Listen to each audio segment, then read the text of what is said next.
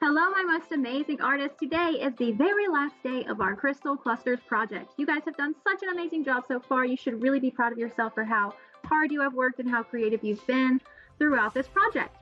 So, the last step is pretty simple, and hopefully it won't take you too long this week, but we are going to cut out our crystal clusters and glue them onto our background, okay? So last time you should have created your background, whether you used the technique that I did with markers, or if you just colored it using colored pencils or crayons, whatever you had. Okay, so you should have done that. And we should have our drawing using lines and value to create form. Okay, so what we need to do is cut our crystals out and glue them onto our background and we will be done. Okay, so there's a couple of things I would like to go over um, about cutting and gluing. Okay, as an artist, it's very important to take your time and consider craftsmanship. Craftsmanship is when an artist really wants their artwork to be nice and neat, and so it doesn't look like you rushed it and you didn't really care about it. Okay, so we need to use craftsmanship while cutting and gluing today. Okay, you guys have worked really hard on your drawings, and I really don't want us to mess it up while cutting because we were being careless or we were rushing, whatever the case may be. Okay, so I'm going to really take my time while I'm cutting today because I it took me a really long time to do this drawing. So I want to take care of it. Okay. The best way to take care of it is to take your time while working on your art. Okay. So with my right hand, I have my scissors because I'm right-handed. If you're left-handed, then your scissors will go in your left hand.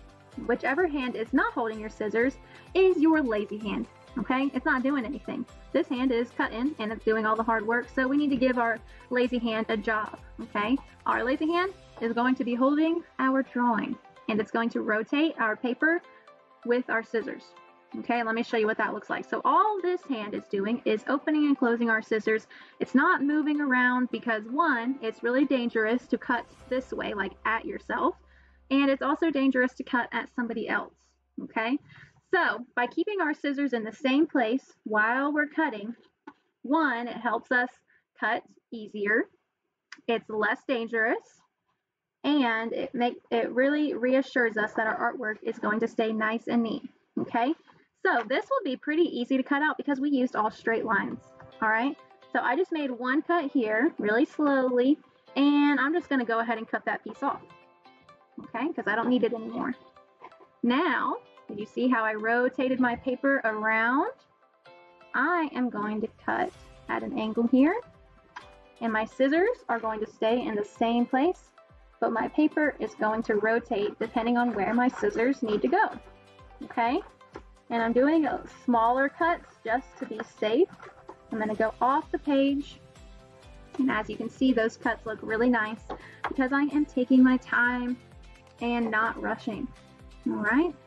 So my scissors are just opening and closing, but this hand, my lazy hand here, has a job now, and his job is to rotate my paper depending on where my scissors need to go.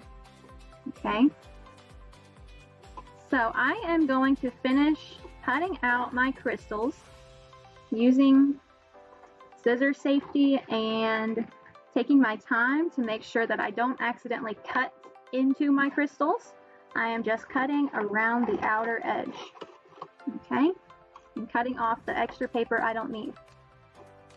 Alright, so I'm going to go ahead and do this, and then I will come right back to show you how to glue your crystals onto your background. Alright, so I have finished cutting out my crystals, and as you can see, I really took my time because my lines are nice and straight, and I didn't accidentally cut off one of my crystals, so please make sure that you really take your time while cutting. Okay, we've worked really hard on this project so far.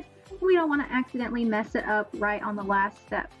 Okay, so depending on your crystals, I know some of us drew crystals down here, so your crystals might be floating on your background.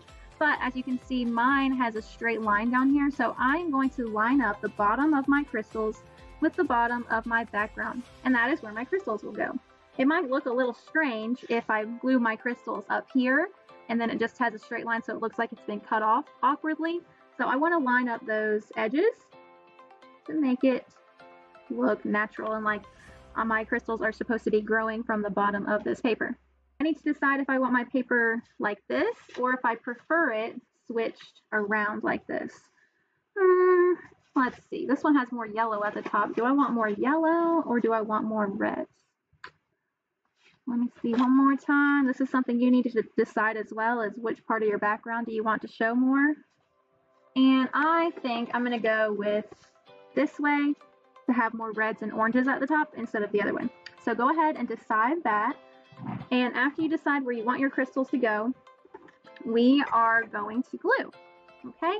Now with gluing, it is probably a good idea to have like a scrap piece of paper underneath what you're gluing, just so you don't get glue all over your table. Okay? And today I'm going to use a glue stick, but you can use a glue bottle. Um, if you don't have any kind of glue at all, you can just tape your crystals to your background. It all depends on what you have at your house. Okay? But today I am going to use a glue stick. So what I'm going to do is I'm going to take my crystals and flip them over upside down. You can see where I was practicing my value there. I'm going to open up my glue stick, just um, roll it up oh, just a little bit. We don't need a lot.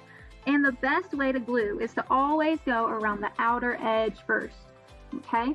When we glue it down, like I said, we want to use the best craftsmanship. And whenever we glue it, if there's a bunch of edges coming up, it doesn't look as neat as it could. Okay?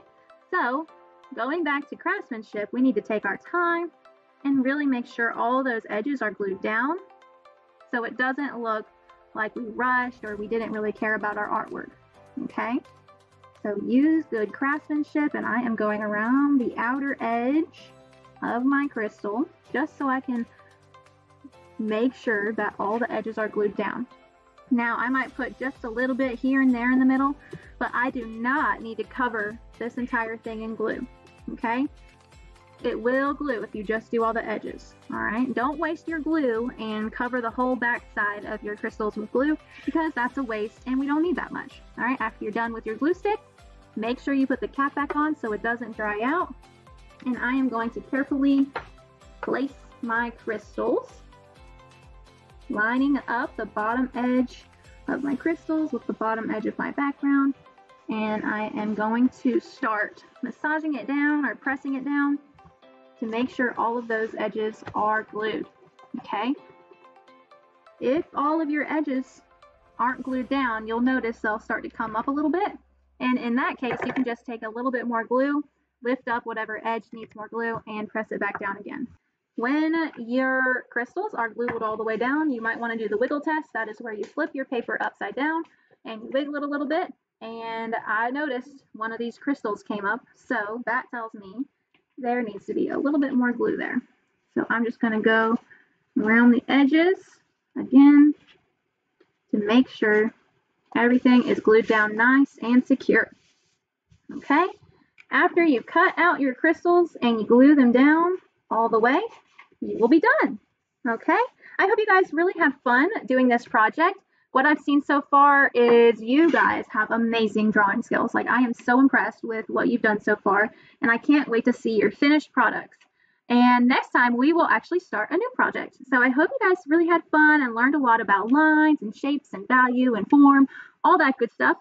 Um, but yeah, can't wait to see your finished products, and I will see you in the next video. Bye, guys.